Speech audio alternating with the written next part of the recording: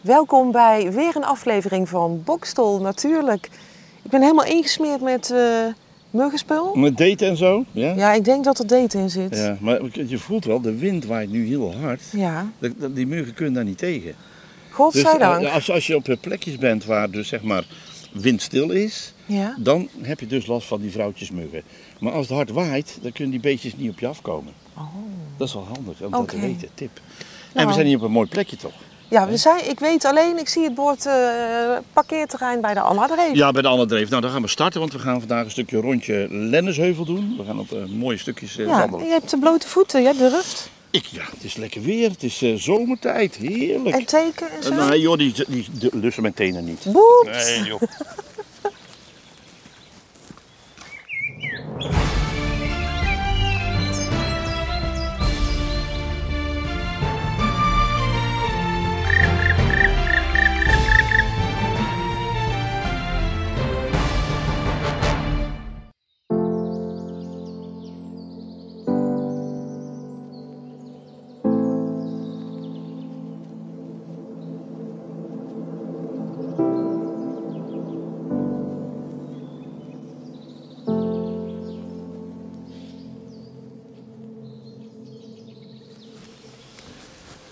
Nou Frans, ik heb iets opgestoken van jou. Ah, Want dit Ja. is, als ik het goed heb, een lindenboom. ja, heel mooi, eh, Tadaa. Jolien. Kijk maar. Een hartvormig blad, hè? Ja. Echt een hartje. En eh, nou, wat die lindenbomen ook doen, dat kun je dus hier ook zien. Ja. Die, die, die groeien overal van onderuit. Dat doen ze altijd. Andere bomen doen dat niet. Maar lindenbomen hebben altijd, dat heet dan eh, een, een noodschot of je, een, een, een jeugdschot, hoe je het ook wilt noemen. En dat was vroeger voor de boeren heel belangrijk, want die voerden ze aan de varkens. Oh. Want dit, dit, dit blaadje, Ja. dit, dat is heel zoet. Oh, ga je erop eten? Natuurlijk, want dat is lekker zoet. Dat Oh. smaakt echt lekker. Kun je er eten? Ja. En die, die varkens waren dus blij met dat zoete spul. Ja, dat snap ik. Ik weet wel, als ik dat dan goed heb, want in Liem staan er een paar, daar hebben wij eerder gefilmd. Ik vind de lindenbloesem geweldig ruiken. En, Maar en, dat- dat dat is- en wat dacht je van de honing? De Ja, lindenbloesem ja. honing. Oh Heerlijk. man. Er werd vroeger er werd gewoon gevochten om dat te krijgen. En het stond altijd bij de boerderijen. En Dus ik- we moeten denken, als je dit hart ziet, Lin, lindenboom. dan is het altijd een lindenboom. Altijd. lindenboom. Ja.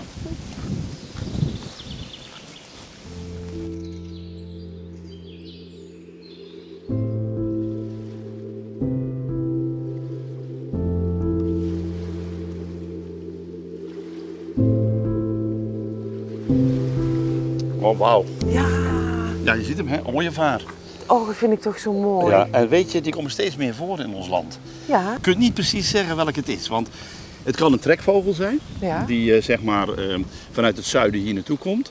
Het kan er ook eentje zijn die hier opgegroeid is, want voorheen hadden wij eh, trekstations, zo heette dat. ja. Die, die kweekten ooievaars, omdat op een bepaald moment in de jaren 60 het duidelijk was dat ooievaars verdwenen waren.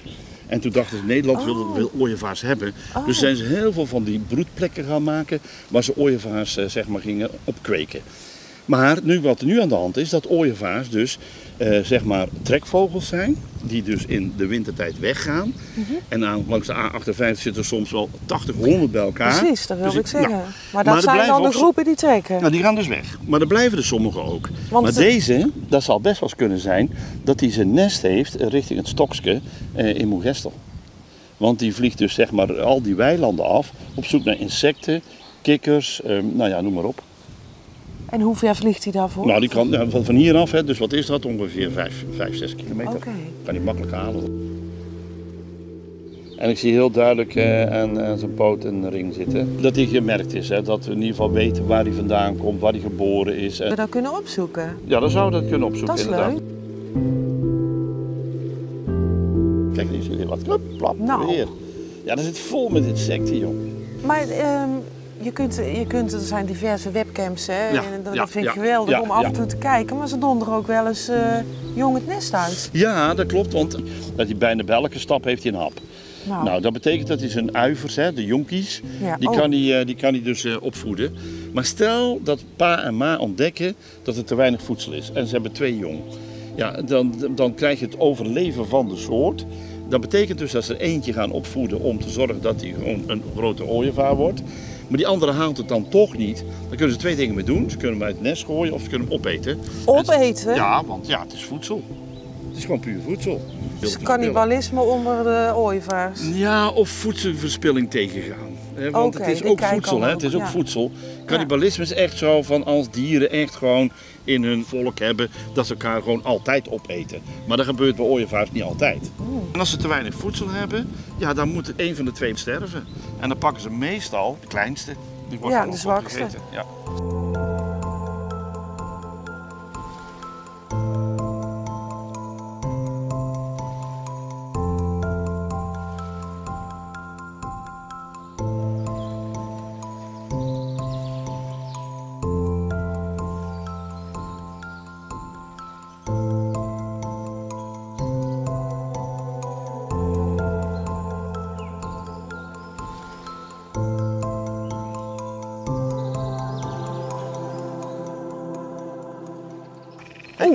De kikkers.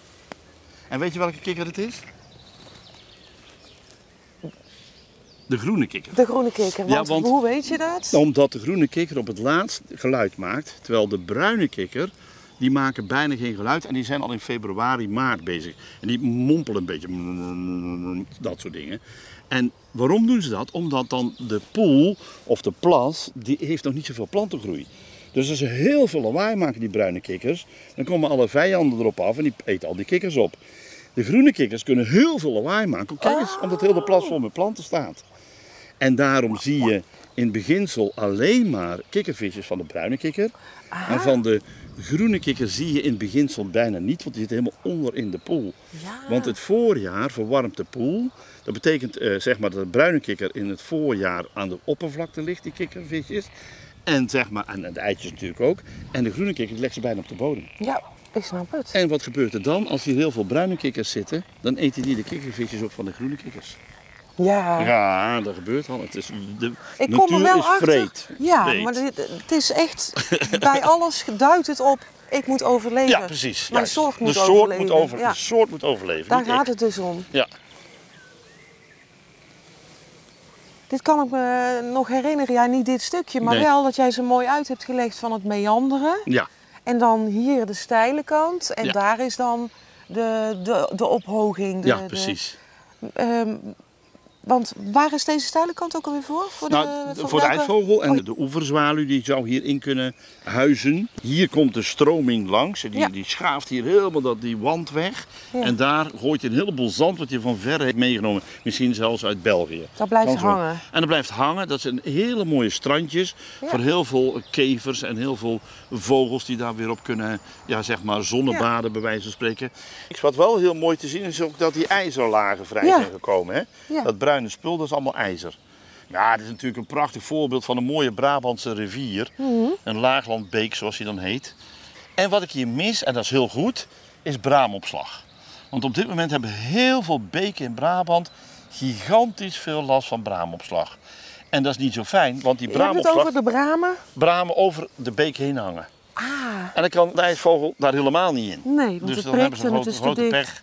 Nou, we zijn, we zijn nog maar een paar Ja, ja dat verder, heb je dan. Hoe mooi is het, hè? Er is zoveel te zien, hè? Ja, is superleuk. te zien. Superleuk. En daar zie ik iets wat ik ken. Nou, dan gaan we daar even naartoe. Ja. Een stegeltje. Het stegelke. Ja, Ja, zal ik jou maar volgen? Ja, dat is wel leuk, hè? Kan ik er zo overheen staan? Ja, nou, probeer het eens. Nee.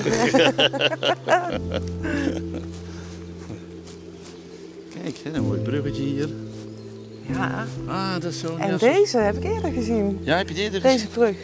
Ja? Ja, ja ik, ik heb hem in eh, de maak gezien. Oh ja? Toen was hij nog niet klaar. Oké.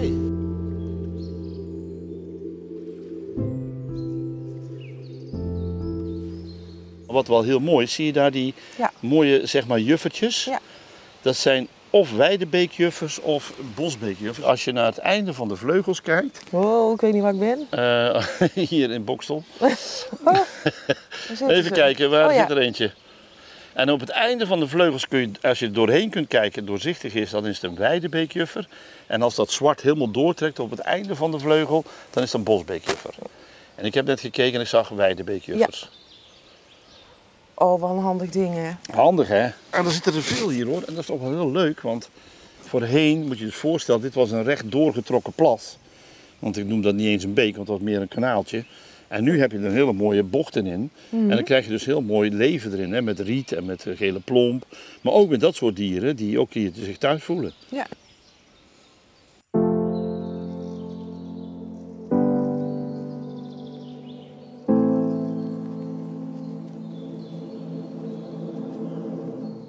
Dit is wel een goor ding. Nee, Ja. dat, dat noemen ze spuug. Maar dan Oh. ja, maar spuug van de cicade. Hierin, in dit stukje spuug, daar zit dus een larve van een spuugbeestje. Oh. En eh, een enkele, vijand durft hier aan te komen. Eh, en dat betekent dat ze gewoon mooi beschermd zijn. Maar het gebeurt wel altijd bij, nou ja, in ieder geval heel veel bij wilgen. En soms loop je op zo'n wilgenbos, loop je dan, en dan word je kletsnat terwijl de zon schijnt. Oh. En dan komt dan die, die beestjes, die gaan op een gegeven moment, dat spuug, dat gaat dan lekken. Dan vallen allemaal druppeltjes naar beneden toe. Ja, en dat krijg je dan op je hoofd. En uiteindelijk valt het beestje mee naar beneden toe. Want dat is ook de bedoeling dat hij niet in de boom blijft hangen. Maar dat is een hele mooie bescherming tegen vijanden. Ja, en mensen komen er ook niet aan, want die vindt het maar vies Nou, en eng. precies. Ja. Kijk, want een willig, dat is een heel belangrijke eh, voedselbron ook voor bevers. Want hier, en, en wij mensen haalden vroeger ook wilgen, daar haalden we onze aspirine uit. Ja. Want aspirine zit in de willig. Ja? Ja, zeker. Dus een bever die krijgt heel veel geneesmiddelen binnen als je dus de schors opeet van een willig. Wat ik ook wilde vertellen, maar dit is natuurlijk belangrijker. Ik vind een willig altijd zo op een olijfboom lijken. Ja, dat, kan, dat, dat lijkt er inderdaad, dat is, lijkt er heel sterk op. Vooral het blad Ja. is heel mooi glad en zo en grijs. Ja. Die lijkt echt heel veel op olijfbomen. Maar je hebt heel veel verschillende soorten wilgen. Je hebt, je hebt dus wilgen met smal blad en je hebt wilgen met groot blad. En dat zijn de grote verschillen eh, tussen de twee soorten wilgen die wij in Nederland kennen. En de meeste mensen kennen de knotwilg. Ja. Dat kennen de meeste mensen. Maar Die dit, heb, ik, dit die is heb ik gewoon- thuis. Ja, nou, nou, Een kleintje, hè? Ja. Ik heb, en eh, aan de willen gehangen. Ik, hang, ik hang de boel aan de willen. Ja, blijkbaar heeft het te maken met het feit dat eh, de willig een van de laatste eh, boomsoorten is die nog kan, alles kan overleven. Dus als jij je gitaar aan de wilgen hangt, dan blijft die eeuwig hangen. Als jij je trompet aan de wilgen hangt, dan ben jij er van af en dan houdt die willig jouw trompet bij je. Dat schijnt daar iets mee te maken te hebben. Ja, ja, ja. Tja. Ik, weet, ik, ben er, ik ben er ook geen deskundige in, maar dat heeft er wel mee te maken. Hier zit een heleboel Ja, hier zit ja. echt. Ja, dit is mooi. Ja, ik kan er wel eens eentje uithalen. Kijken of ik blijf op afstand. Nou, hier zitten ze al. Kijk hier. Hier heb ik hem. Hier zit het beestje. Zie je? Twee. Twee En zijn die nou al klaar om te overleven? Nou, eigenlijk niet. Dus ik, duw daar de, zeg maar de, de, ja, de, de spuug weer terug. ja. Ja, prachtig hè? ja, ik vind het natuurlijk heel mooi. dus kijk hier. En dan kun je ook heel goed zien dat die dus zeg maar de cicade-achtig. Deze zijn wel eigenlijk al klaar. Om, kijk, hier gaat er weer eentje. Daar gaat er weer eentje. Zie Oh, je die is al klaar. Hoppakee. Die zijn al klaar eigenlijk om volwassen diertje te worden. Ik kijk want- meteen overal de kriebels. Want, want eh, cicades, dat zijn dus diertjes. Rol. Dat zijn dus diertjes Sorry. die hebben een onvolledige gedaantewisseling. Kijk, hier heb ik eentje op mijn hand zitten. Mijn duim, kijk. Een onvolledige gedaan. Ja, je hebt dus zeg maar de volledige gedaantewisseling. Dat is dus De larve ei, wordt een vlinder. ei. Nee, Oh. eerst heb je een ei, Oh, eerst een dan heb je de rups, dan heb je de pop en dan heb je het imago of het volwassen diertje. Bij eh, zeg maar onvolledige gedaantewisseling, zoals cicades en libellen en zo, die hebben een ei. Dan komen er allerlei larfjes uit, die lijken al op het volwassen diertje. En het laatste diertje, voordat hij helemaal volwassen wordt, dat noemen ze dan een nymf, maar die lijkt al helemaal op de laatste. En dat zie je bij deze ook, want die lijken al op een cicade die eruit komt. Kijk hier, zie je hem, kijk eens hoe mooi. Ja, bah. Dan gaat hij, kijk, hij kruipt mooi in de spuug. Nou, Hij lekker. denkt van, ik ga hem zo Hij verstoppen. Ik, blijft bij jou wonen, Frans. ik ga hem terugstoppen hier. Dan kan hij nog overleven. Ja, maar dat is niet vies. Dat is Nee, dat weet ik, maar ik reageer... Wat wil jij zeggen? Eh, ruik eens wat. Nee! Oké. Zeker Nou, niet. zijn jouw nekje Oh nee, nee, niet meer Roel. Nee, Roel. Ja, een beetje lager, ja. Nee, niet Roel. Nee, Roel niet doen. Er zit niks, hè? Nee, hè? Nee, die beestjes kruipen niet zomaar in. Oh. En dan heb je nog meer beestjes. Kijk eens Ja, hier. ik ben helemaal klaar met de beestjes. Want er is ook weer een andere wilde. Ja, kijk, nou. hier, kijk hier, kijk Ja, hier. nou, die heb ik dus thuis in mijn appelboom. Ja, dat is mooi toch? Nee, Jawel. maar dan krijg ik toch geen appels? Jawel. Ja, hoezo? Nou, de, kijk, er zijn. de- de- in, in, in, de overlevingsdrang, in de overlevingsdrang, in de overlevingsdrang van planten en, en, en, en, en zeg maar bomen en struiken, zijn erbij die maken giftige blaadjes of die maken looizuur zoals eiken. Ja. Maar er zijn erbij die hebben op een gegeven moment zoiets van ja, pff, wat interesseert mij, die eerste blaadjes laat ze maar opeten. Want ik krijg straks, als de rupsen die hier vreten pop worden en dan vlinder, dan ga ik nieuwe blaadjes maken. Kijk, ik heb nog een beestje bij me, dat is een trips. Dat is een prip, je? trips en hier ook een trips. Dat is allemaal tripsjes. Was een trips? Een trips is een heel klein soort vliegje. Oh. En die kun je wel eens in huis krijgen als de, de, de, de plant waar, eh, waar oh, nee, blijf bij mij. als de plant eh, waar, eh, waar die in staat in de, in de vaas of in de, in de, in de pot. Oh, daar zijn Als die vliegjes. Ja, als, die, als de, de bodem te slecht is. Dus dan weet je dat je dus een slechte bodem hebt. Dan komen die trips erin. Ja, ze zijn allemaal weg. Ja, nee. Ze zijn allemaal weg. nee, maar even over die, want daar zitten beestjes in. Of? Ja, er zitten, de- nou ja, nou zit er nog poep in. Want Oh. je ziet geen beestjes meer. Kijk, Ik vind het een leuke uitzending, Frans. Kijk, dit is allemaal poep. Spuug, Hier poep. poep. Kijk, hier is allemaal poep. Oh, is dat poep? Dat is poep van de beestjes. Want hè, dat van zie de ik dus bij mij in mijn boompje. Ja, en dan zijn de rupsen zijn nu weg. En hier zie je dus alleen maar poep. Ah, Dat is poep. Ja, klaar. klaar. En kun je dat dan snoeien? Of moet je daar gewoon Nee, laten zitten en dan komt er een nieuw blad aan. Oké. Ja. Niks aan de hand. Nee. Niks aan de hand.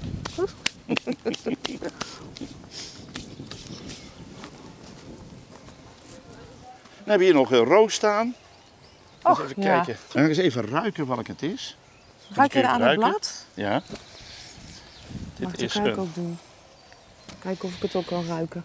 ah, dit is, een, dit is een, gewone, een gewone bosroos. Want de egelantier die ruikt naar zure appeltjes. Dat doet deze niet. Nee, dat doet deze absoluut niet. Dat is maar gewoon je een kunt toch ook naar de bloem kijken? Ja, maar die bloemen lijken vaak op elkaar. Maar dit is gewoon, dit is gewoon ik denk gewoon een eenvoudige bosroos. Dit is geen, geen egelantier. En de egelantier gebruikten ze vroeger in de keuken als keukenkruid. Kijk, hier zie je een heel nest. Moet eens kijken hoe mooi. Nee, dat is iets te veel. Kijk eens Oh, hier. Nee, dat vind ik iets te veel. Hier, Oh, kijk eens. Geweldig. Een heel nest, helemaal ingekapseld. Hier zo. Wauw. Prachtig toch? Ja, ik vind het eh, een beetje op zo'n eh, griezelfilm lijken. ja. Ja, ja, maar je moet dus bedenken, die dieren zijn het. zo slim, ja. daar komt geen vogel bij. Nou ja, ik vind dat heel mooi. En dat is gewoon toch, en hierboven, en beren hangen ze ook allemaal. Die is er ook heel blij mee, denk ik. ja. Weet je waar ik nou eh, benieuwd naar ben, Frans? Nee. Of het ons lukt om, nou pak een beetje 20 meter te lopen, Ja. zonder dat jij zegt, oh kijk daar. Oh. Oei, oei, oei, dat wordt wel heel lastig, Jolene. Dat wordt wel heel lastig. Want eh, het, het, het- het- hier is het zo... Oké, Moeilijk hè? dat is zo moeilijk.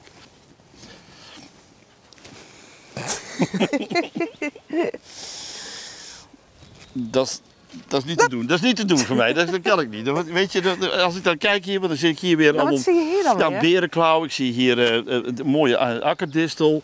Ja, en er zitten ook allemaal spuugbeestjes op. Je, ja, je komt geen meter vooruit natuurlijk. Want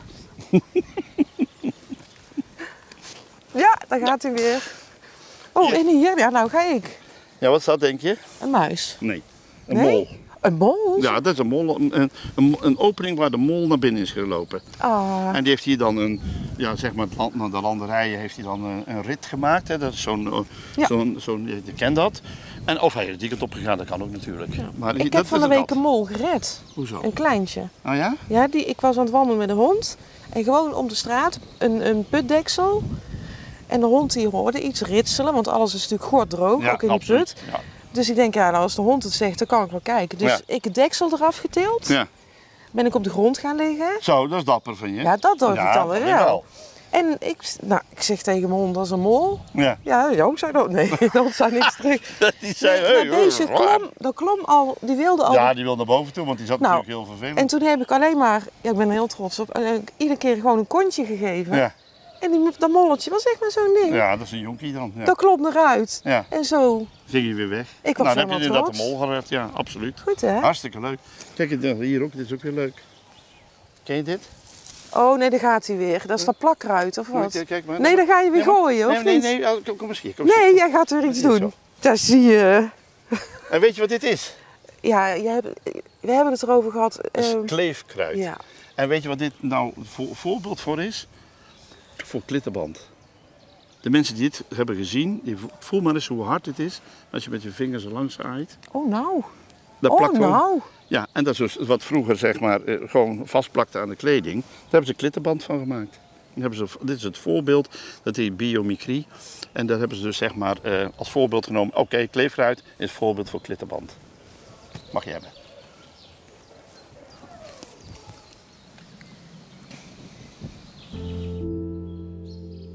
Nou Frans, Ja, de zon gaat bijna onder. inderdaad. We Ja. hebben veel gezien. ja, het was mooi hier hoor. Zo, oh, wat is Boksel toch mooi hè. Want als je echt hier- hier rondloopt, je kunt zoveel mooie plekjes zien. Ja, zeker. En je hoeft bijna niet vooruit te gaan, want je ziet van alles. Nee, je, hoeft, je hoeft helemaal niet naar verre landen. hè? Nee, Je absoluut kunt niet. gewoon om de hoek. Lekker in Boksel blijven. Ja. Nou, ik bedank eh, jullie voor het kijken.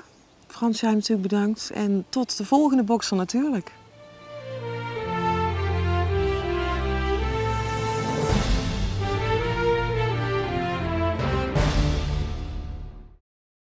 Wat wou jij zeggen? ruik eens wat.